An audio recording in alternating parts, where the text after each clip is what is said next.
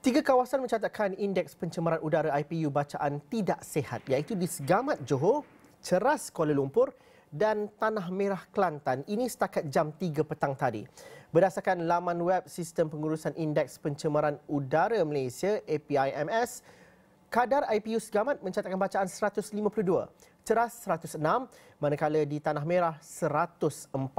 Bacaan IPU di Segamat dan Tanah Merah meningkat daripada angka 96 dan 102 manakala ceras pula kini merekodkan sedikit penurunan berbanding 107 yang dicatatkan pada jam 12 tengah hari tadi. Namun, masih kategori tidak sihat. 68 stesen mencatatkan bacaan sederhana.